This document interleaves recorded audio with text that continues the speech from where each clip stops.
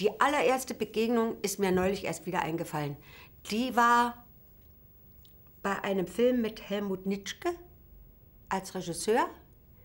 Und der hieß Unsere Straße, unsere Liebe damals. Und da war Roland Kameramann. Und der Film ist nie bis zu Ende gedreht worden und schon gar nicht rausgekommen und so. Aber der, das war praktisch die erste Begegnung mit Roland.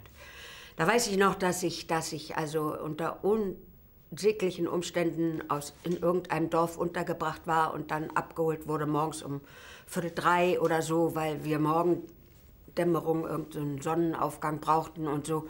Und das war sehr brenzlig, dass man den Moment erwischte und so. Und also ich bin dann dahin, weiß ich noch. Und dann haben sie gesagt, ja, du musst jetzt weinen.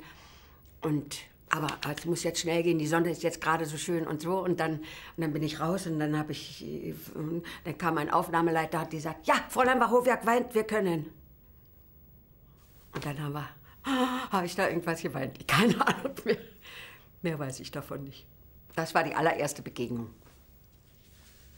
Dann haben wir uns viele Jahre aus den Augen verloren. Also es war auch keine, also ich, war ja viel zu, das war ja, waren ja eine von den ersten Erlebnissen überhaupt mit Drehen und so. Und dann, da weiß man ja noch gar nicht, wie man die vielen, vielen Menschen alle zuordnen soll, die da immer so rundherum stehen. Und dass der da hinter der Kamera eigentlich einer der wichtigsten ist, das wusste ich da, damals auch noch nicht und so.